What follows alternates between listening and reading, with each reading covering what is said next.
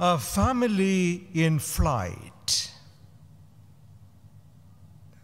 Not just an ordinary family, a holy family in flight. Think again. A holy, a very holy family in flight.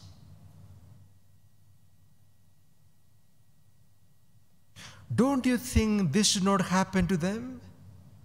Because God is with them, God Himself with them, and angels surrounding them, and they are told to run, run, run, run, run.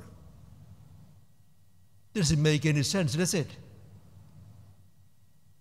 Doesn't make any sense. When you have a God with you, angels watching over you, surrounding, and you are told, run for your life. With any human reason, no, it won't make any sense. God asking you to run, then what kind of God you believe in? So if you are, this is a reading for you to set your faith to the right setting.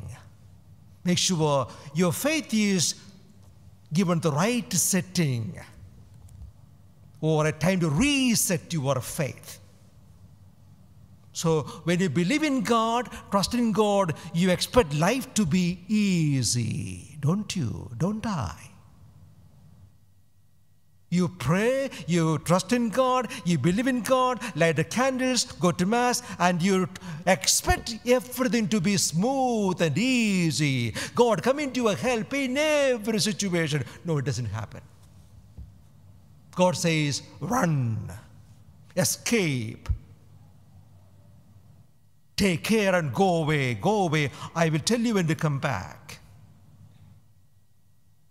A good lesson for every one of us. Because we always tend to think, no, life seems should be easy. We believe in God. We are believers. We trust in God. God is good all the time. So everything has to be all right. Everything has to be, has to be, has to turn out well. No, it doesn't.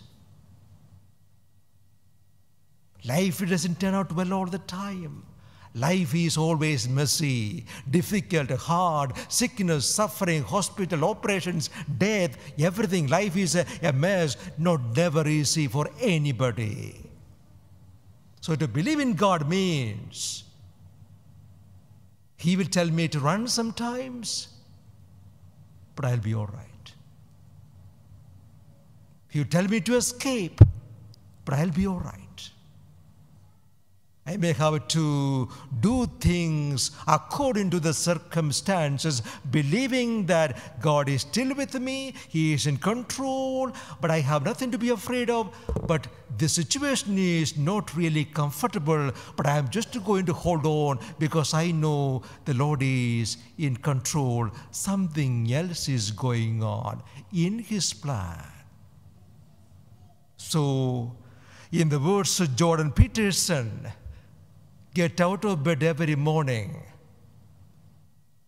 flex your muscles, and be ready for a challenge and another test of faith.